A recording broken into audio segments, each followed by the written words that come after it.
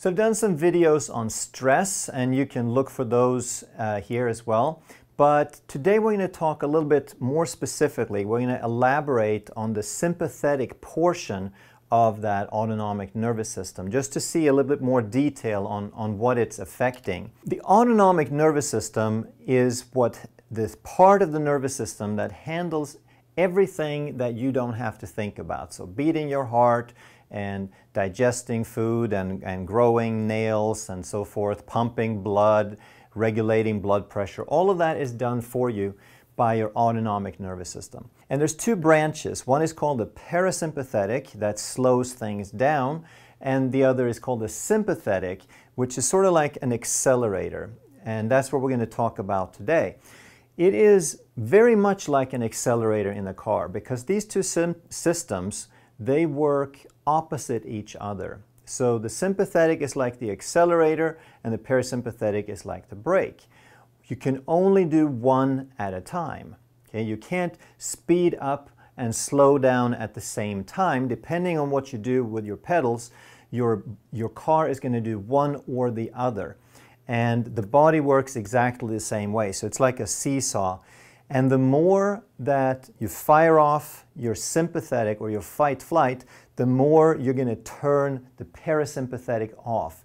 So it's not like a switch, but it's a gradual thing. It's like a percentage thing. For every percent that you increase your sympathetics, you decrease the parasympathetics by 1%. And that's because it's a resource allocation system. We only have so much blood, there's only so much resources in the body, and this system determines where is it most important to send it right now in this moment, depending on what's going on around us. So fight flight is exactly what it sounds like. It's about defending, it's about danger, stress, defending yourself. It's situations where you have to fight or run.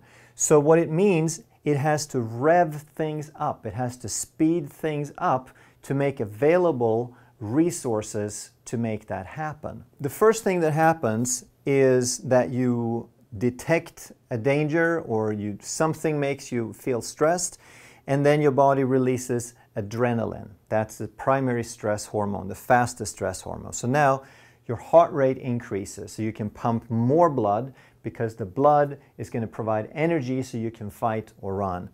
You breathe faster you start hyperventilating essentially, and that's to bring in more oxygen so that the blood can carry more oxygen and more fuel out to the body parts to do the work. Your blood pressure increases. Uh, your blood vessels constrict, called vasoconstriction, because in a tighter blood vessel, the blood moves faster. So the, the blood can get out faster uh, to the peripheral body parts, to the muscles that are going to do the work you increase muscle tension because you preload the muscles. Like instantly there's something to defend against then instantly you have that muscle tension so you're ready to act and do the work.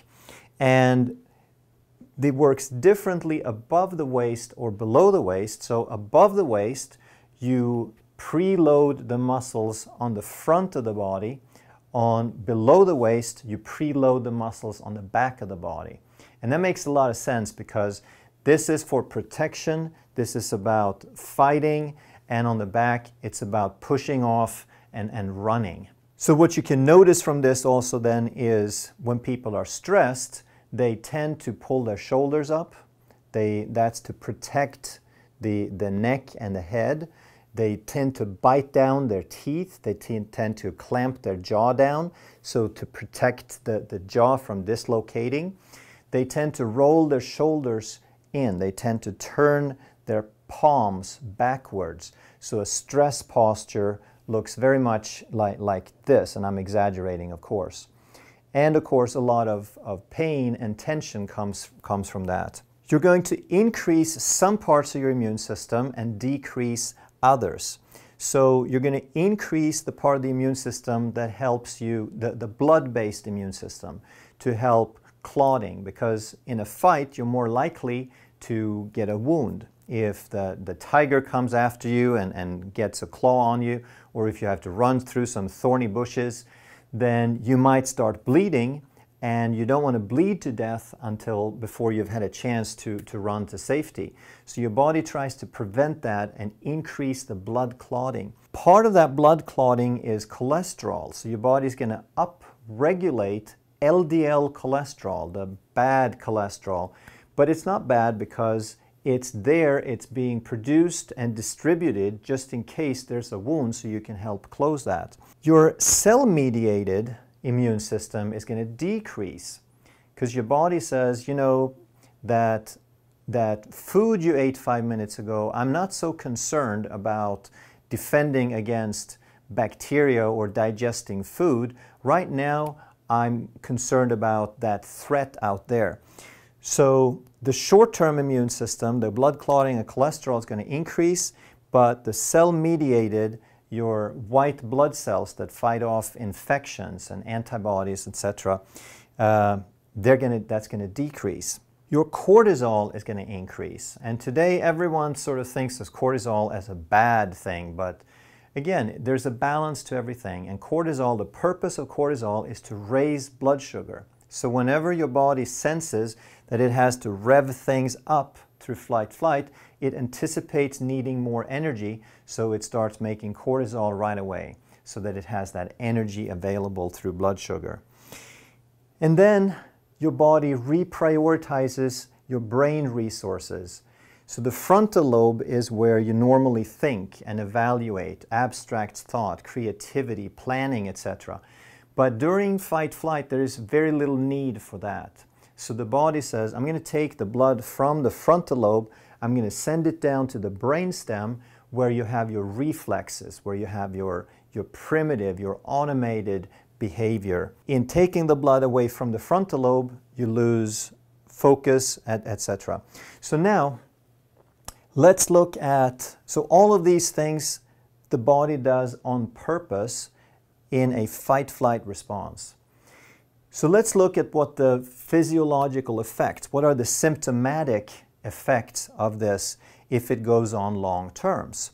So all, all of these responses are for short term and they can save a life, but long term, this increased heart rate leads to arrhythmias and heart palpitations. The blood pressure, causes hypertension, which can be very destructive if it gets very high. Muscle tension results in spasms, so now we can have neck pain and shoulder pain as a result from this constant tension. On the lower body, we can have hip problems, knee problems, sciatica. The blood clotting leads to increased risk of stroke. The increased cholesterol is associated with cardiovascular disease. The reduced white blood cells leaves us more vulnerable to infections. The increased Cortisol is going to create stress. It makes tissues more fragile and it causes abdominal fat deposits. Decreased blood flow to the frontal lobe results in decreased focus and concentration, increased anxiety, increased chronic pain, ADD, etc., etc. So I know what you're saying now. You're, you're thinking, well, he said that the body is smart. He said the body does this all on purpose. Then why would the body create all these problems if it's on purpose? Why doesn't it just do something different? Because the system has kept us alive in emergencies. It's designed for short-term bursts of activity. It saves our lives in those situations, but it was never designed for the way we're using it today.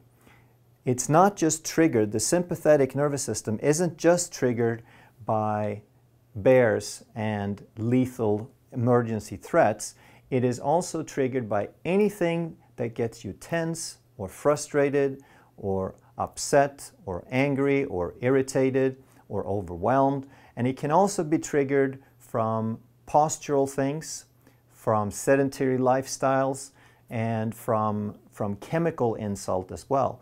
So because we have more of all of those than we've ever had before, we're getting just a little bit of stress. We're getting a little bit of activation all the time. So we end up with a sympathetic dominance in a system that was designed to have an, an kind of an all or nothing activation.